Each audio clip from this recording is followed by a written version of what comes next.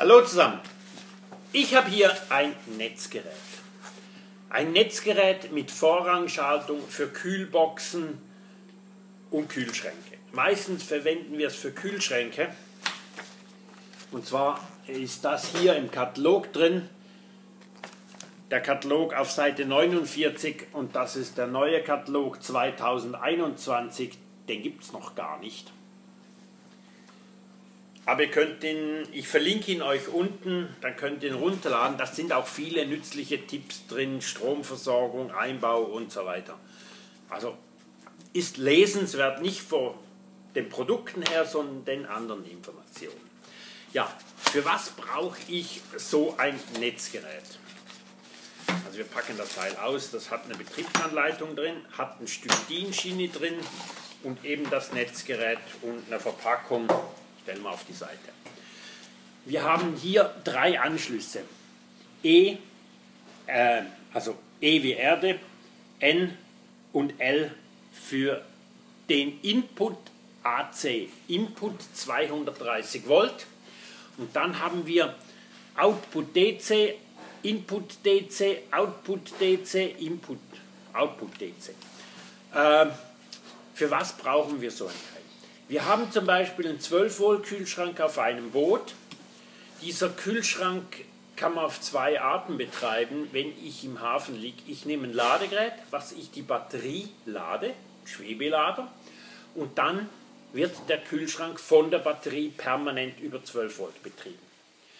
Will ich das aber, wenn ich nicht auf dem Schiff bin, ich verlasse das Schiff, der Kühlschrank sollte aber weiterlaufen, dann kann ich den Hauptschalter rausmachen auf dem Schiff dann würde ja in der ersten Situation der Kühlschrank nicht mehr funktionieren.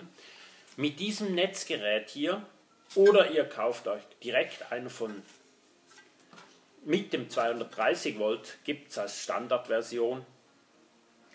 Mit diesem Netzgerät, das kann ich in die Zuleitung schalten, also die Zuleitung trennen, die von der Batterie auf den Kühlschrank geht und hier wieder anschließen. Das, was von der Batterie kommt, auf Input, Plus und Minus, und Output gehe ich auf den Kühlschrank.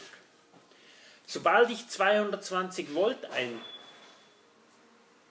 einspeise vom Boot oder vom Land her und dann schaltet hier ein Rölle, das trennt das 12 Volt von der Batterie weg und es wird nur noch über dieses Netzgerät geht der Strom in den Kühlschrank. Zieht mir der Nachbar den Stromstecker raus, weil er irgendwas macht, keine Ahnung. Oder wir haben eine Sicherung, die rausfliegt. Dann hat das Teil keinen Strom mehr, das schaltet um auf die Batterie. Wenn ihr jetzt aber nicht auf dem Boot sind und ihr habt den Hauptschalter draußen, hat der Kühlschrank keine Stromversorgung mehr. Bei der ersten Version passiert folgendes, der Nachbar zieht den Stecker raus, das Ladegerät geht aus und der Kühlschrank läuft von mir aus noch zwei, drei, vier Tage weiter, je nach eurer Batterie. Und wenn ihr dann am Wochenende aufs Boot kommt, habt ihr eine leere Batterie und einen warmen Kühlschrank. Und mit dieser Version habt ihr nur einen warmen Kühlschrank. Aber wenigstens ist dann die Batterie voll. Ja, das ist einfach eine automatische Steuerung für den Zweck, wenn wir nicht über Ladegerät Batterie fahren möchten. Preislich sind wir bei 149 Euro, Franken. Das Teil ist in der Regel ab Lager. Zur Montage gibt es so ein Stück DIN-Schiene dazu.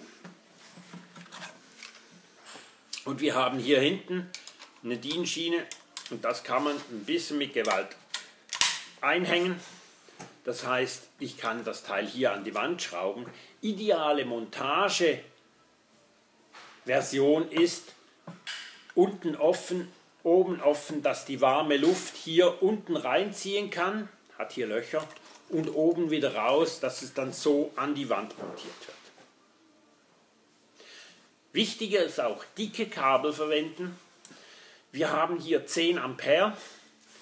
Das heißt, von der Batterie über das Netzgerät bis zum Kühlschrank diese Länge in Meter. Auch Kühlschrank noch ein Verteiltableau, äh, von der Batterie Verteiltableau auf äh, Hauptschalter, Sicherungsverteiler, Unterverteiler bis zu dem Netzgerät, von dem Netzgerät bis zum Kühlschrank. Diese Leitungslänge im Gesamten, die Länge in Meter, solltet ihr in Dicke in Quadratmeter auslegen. Das heißt, wenn ihr auf dem Boot 6 Meter Kabel verlegt habt, braucht für diese Leitung 6 Quadratkabel. Wir bringen hier 6 Quadrat rein, sonst eine Ader-Endhülse reduzierte nehmen, aber wichtig ist dicke Kabel.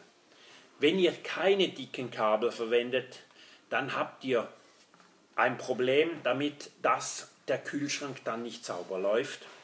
Ihr wisst, ein Kühlschrank braucht drei Sachen. Das eine erzähle ich irgendwann. Das zweite ist, er braucht genügend Luft. Und das dritte ist, er braucht Strom. Weil, wenn der Kühlschrank zu wenig Strom hat, beziehungsweise zu wenig Spannung, schaltet er über den Unterspannungsschutz aus. Wenn dieser Unterspannungsschutz bei 10,5 Volt ausgeht, schaltet er wieder ein, die Spannung ist wieder da und das probiert dann alle 68 Sekunden zu starten.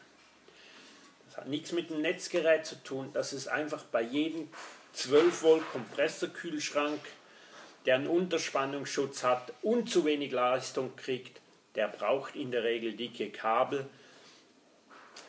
90% von den Leuten, die hier anrufen, haben zu wenig Strom.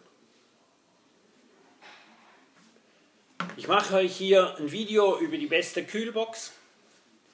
Hier mache ich euch einen Standard-Kühlschrank, der sehr viel verbaut ist, ein Wemo 76. Und hier könnt ihr mir wieder mal ein Abo dalassen und ich wünsche euch einen schönen Tag.